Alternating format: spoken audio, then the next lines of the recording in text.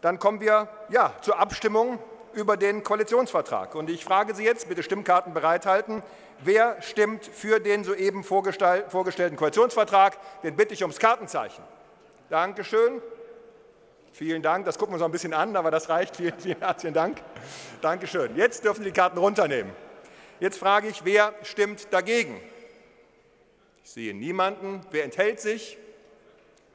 Ich sehe keine Enthaltung.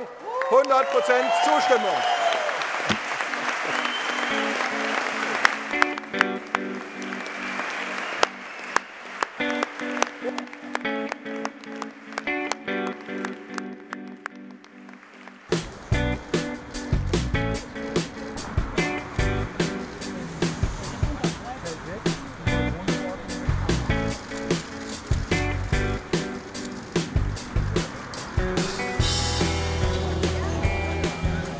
Wir wollen schon noch einmal beschreiben, dass das ein besonderer Moment ist.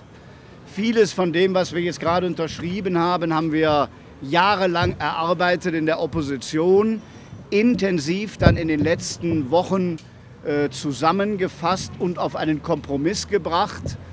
Und ich glaube, die große Mehrheit, die es sowohl bei dem Mitgliederentscheid der FDP als auch bei unserem Landesparteitag gab, ist wichtig, wenn man jetzt nämlich die Gegensätze versöhnen will.